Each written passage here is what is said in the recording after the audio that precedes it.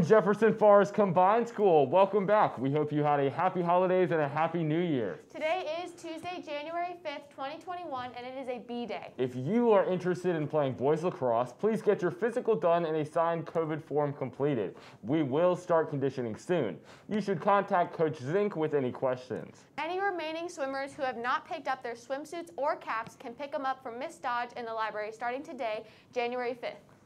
As always, please be sure to wash your hands, use hand sanitizer, wear your mask every day, and stay socially distant from others. I'm Annalise Schultz. And I'm Ashton Lowe. Signing out of the MVC studios. And have a snazzy day, JF.